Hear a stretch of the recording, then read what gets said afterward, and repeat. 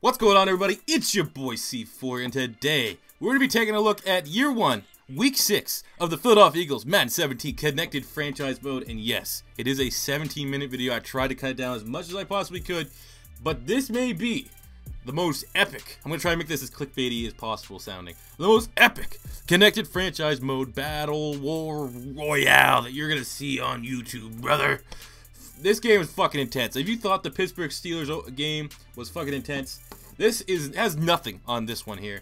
Um, hopefully it turns out a little bit better. Let me move this mic in here a little bit closer to me. But uh, big fucking game here. Big first divisional rivalry matchup for Carson Wentz as he Zach Ertz on the brilliant extension grab. That is so good. We're going to make sure that goes in the thumbnail. But yeah, man, this is a first big matchup here for Carson Wentz. Unable to get any points on our opening drive, so now we gotta try to stop Phil Sim or Chris Sim, Phil Simms, the announcer, who was so annoying. No, Chris Sims the third. Chris Sims. That's not his name. Charles Sims the third, who uh, the Redskins must have traded to get from the Tampa Bay Buccaneers as their starting running back. I guess Matt Jones wasn't good enough.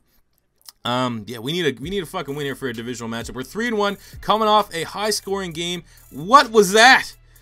Eric Rowe with his third interception on the season in what might have been the worst pass I've ever seen. And you guys are gonna see in a future video. I don't know. Actually, might come out before this. What sliders I'm using? I'm not. I'm not fucking playing on rookie, but that was a rookie pass. What the fuck was he thinking? Like I just stood there. That was that was computer. That was AI right there. Like, well, good, thanks. Got these pink gloves, hot pink gloves. Thank you very much.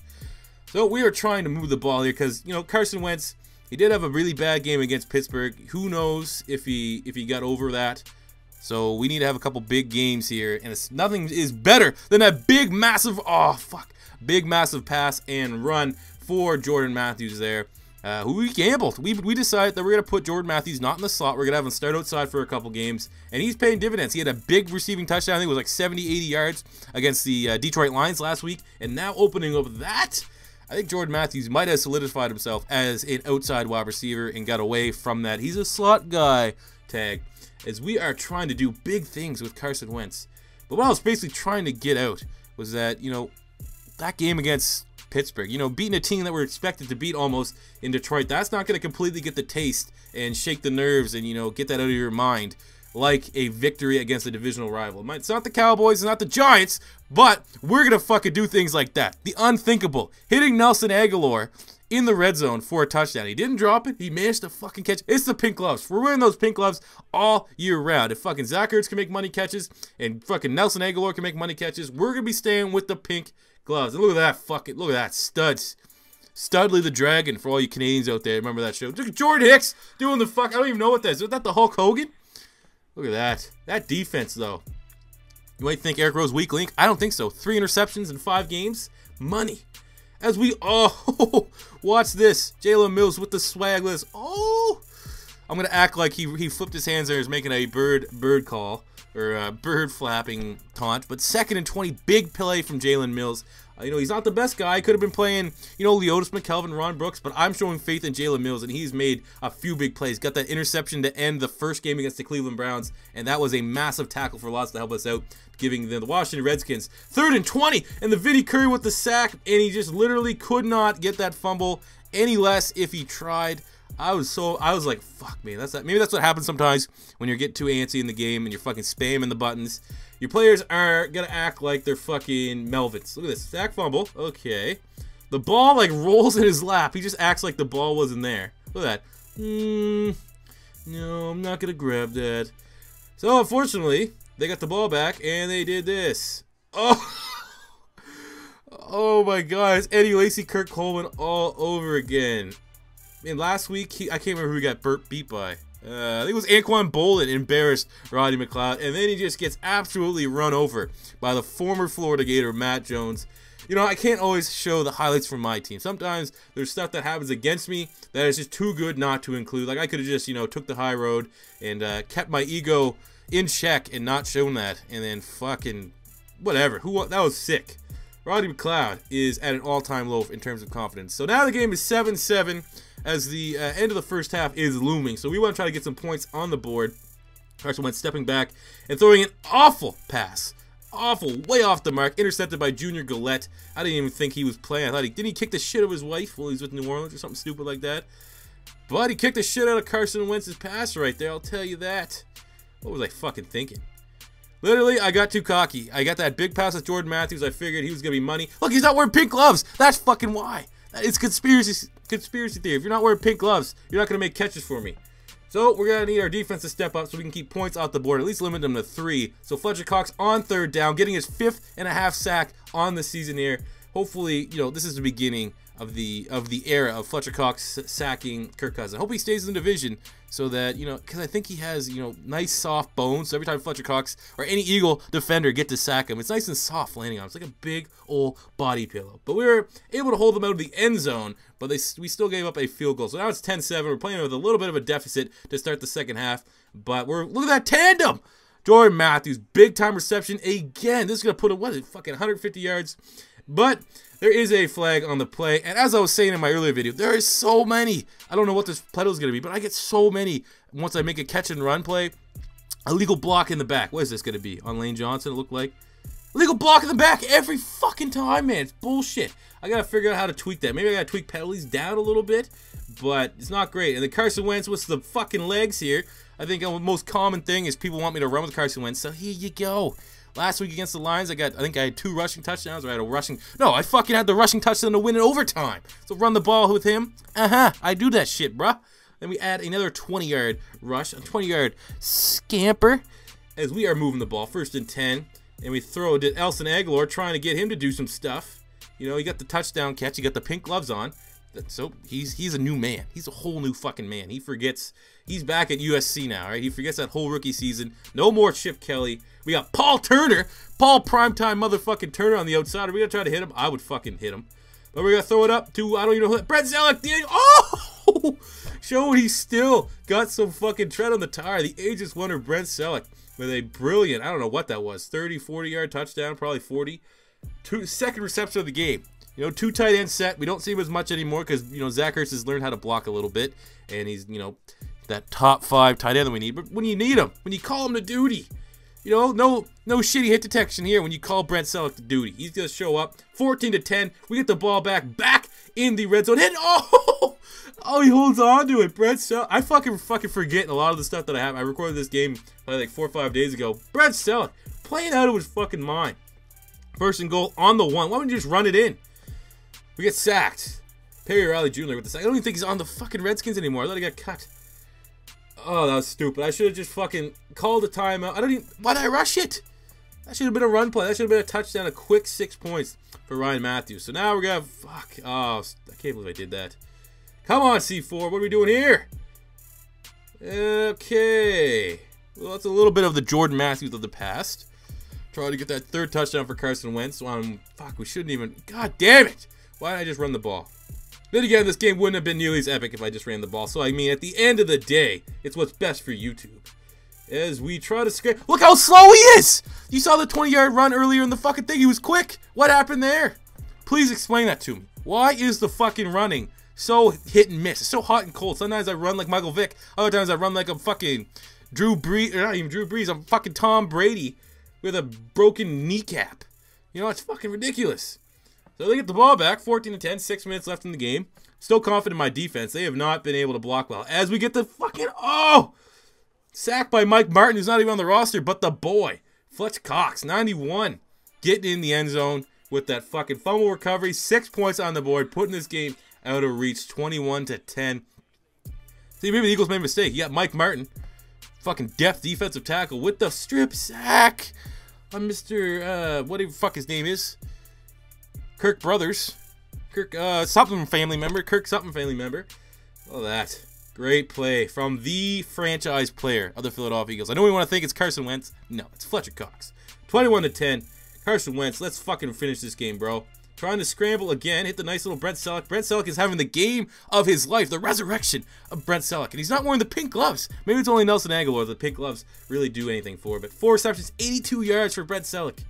Who needs Zach Ertz. Well, I mean, I still really like Zach Ertz, but having these two tight ends, especially being able to get them involved in the offense, is always a great thing. As we.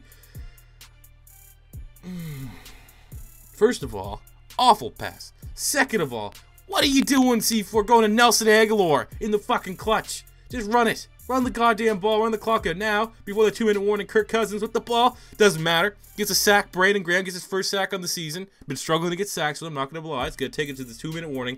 Third and 15. So it's about this time that we think, all right, Carson Wentz made a lot of mistakes. We're probably all right. No! They fucking marched the ball down. I was going to show you the highlights, but it was just dinking dimes and shit like that.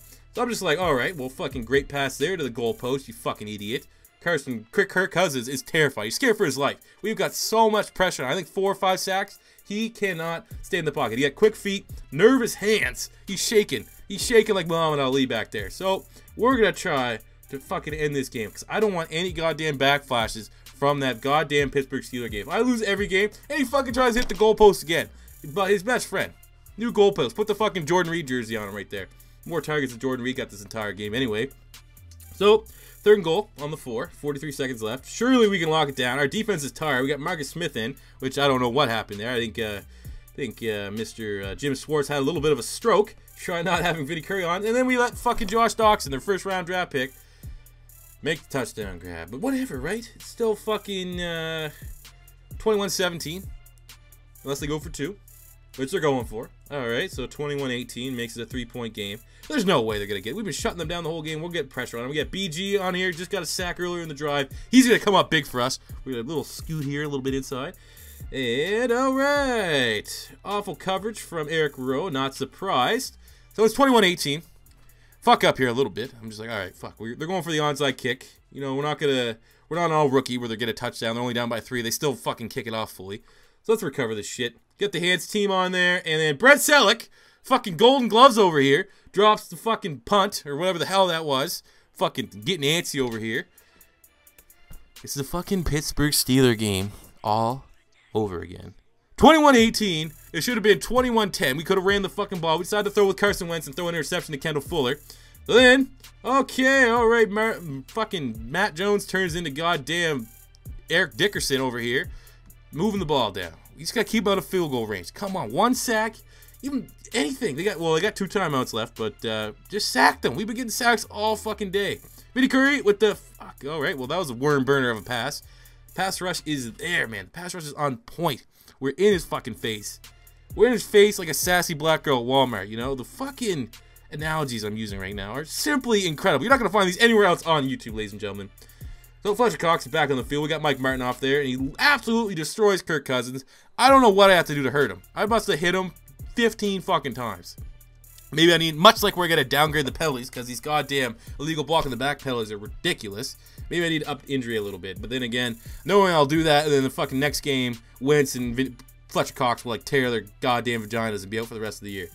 So Sean Jackson, oh, Jalen Mills, come on, bro. Jalen Mills just... they're at field goal range. I just, I don't know. Wasn't wasn't having a good time right here. You know, my controller's taking an ass whooping from that goddamn New Orleans Saints uh, Madden Ultimate Team Challenge, but it was taking a little bit of an ass whooping here. So yeah, well Bennie Logan blows up that play. You know, adds a one more yard onto it. Hopefully, these uh, you know special teams physics, these new these new additions to special teams where you can block punts, block field goals, plays in my favor. I was able to block one in special teams.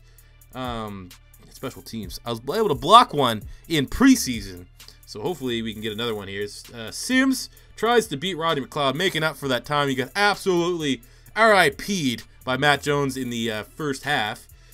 We got this shit. Okay, we're gonna ice. We got timeouts. We're gonna ice the kicker. All right, let's look. I got a goddamn achievement. Boom. What's that for? Blowing the fucking lead? God. Let's ice him. All right, we decide not to ice the kicker. Look at this shit. Are you kidding me?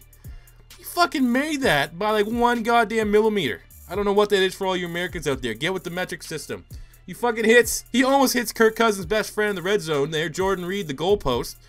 Somehow gets it in there. I was like, all right, this is, it's one of these fucking games all over again. Luckily enough, we were able to win the coin toss, so at least the game was in our hands. But with Carson Wentz throwing his interceptions and how the confidence system works in Madden, I don't really want to fucking pass the ball, but we were unable to run the ball. I only think Ryan Mathews fuck, I don't know how many, 30, 40 rushing yards. We were not able to get off our blocks and really establish much of a run. But let's try to use either er the Celek Ertz or Jordan Matthews. There you go. Is that Josh Norman? Wow, Josh Norman. Josh Norman trash. Josh Norman trash. Fucking God, you're trash, Josh Norman. We can't even cover Jordan Matthews. He's having a big day. Five receptions, 91 yards after the catch. I don't know how, what his total yards were, 150, something crazy. Jordan Matthews decides that he was going to show up here and help Carson Wentz in his first divisional matchup in the NFL. 21-21, epic fucking game. Not really epic because I absolutely shit the bed. This game should have been put away a long time ago. But uh, there we go. Big run from Jordan Matthews. We're probably going to see his total. Look at that. Seven rushes, 27 yards. We were not getting anything. That was one of his best runs of the day to get about nine and a half yards or so. Coming up in the clutch for us. I'm sorry, you're probably not going to be on the roster next year, Ryan. But if you somehow stay healthy, I'll appreciate it as we get one. That, that right there is pretty much why you're not seeing any run highlights from this game. A lot of that. A lot of just, you know, fucking it felt like a beehive in the fucking backfield. Just fucking shit around me. Could not get out as we hit Dorial Green Beckham. What are you gonna do, man? He's a fucking monster across the middle. Carson Wentz having an all right day. All right day, not as good as 375 and three touchdowns, no interceptions last week, but he's you know two touchdowns, two picks. Hopefully, we can end this drive with seven, and then the confidence is a little bit up, a little bit up there. As Darren Sproles in the backfield now. I'm not too happy with that decision. That's the last. That's the first thing I wanted.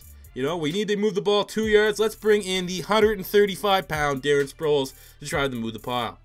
Um, but let's try to pass it. We got a great size here. What are we gonna do? Oh! Get it! Let's fucking get it. I think I actually spoiled it. I think I said this was the ending of last week where I, I ran it in with Carson Wentz to win it in overtime against the Lions. Last game wasn't even fucking close. I'm sorry for uh, the preemptive spoiler. But Carson Wentz with the fucking clutch run for the 27 to 21 victory against the Washington Redskins. This was an epic fucking game. 17 minutes. Like, I mean, I hope you guys did enjoy this longer video. They're not all going to be this long. Unless they're all fucking epic. And I hope they're not all this epic because I fucked up while on defense. Carson Wentz, 277 yards, two touchdowns, two picks added uh, 41 yards on the ground and that rushing touchdown. Had a fumble, so, you know, three touchdowns, three turnovers. Not amazing, but I'll let you guys finish up with the rest of these stats here as I wrap the video up. Thank you tuning in for another episode of the Philadelphia Eagles Connected Franchise Mode. If it's your first time here, hope you guys subscribe and come back. This is only the beginning. We're going to do like 15 fucking seasons of this. If you enjoyed the video, smash that like button. Let me know what you thought about it in the comment section below. And until next time, it's your boy C4 saying peace out.